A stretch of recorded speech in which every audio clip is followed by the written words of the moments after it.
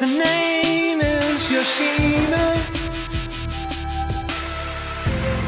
She's a black belt in karate. Working for the city.